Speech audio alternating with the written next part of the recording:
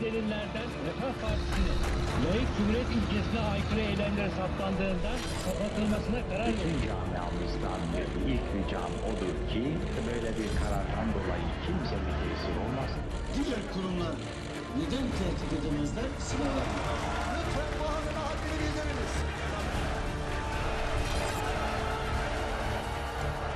Atatürk'ün kurduğu modern ve layıklık bir cumhuriyeti devletinin nitelikleri değişmeyecek ve değiştirilmeyecektir. Siz kim?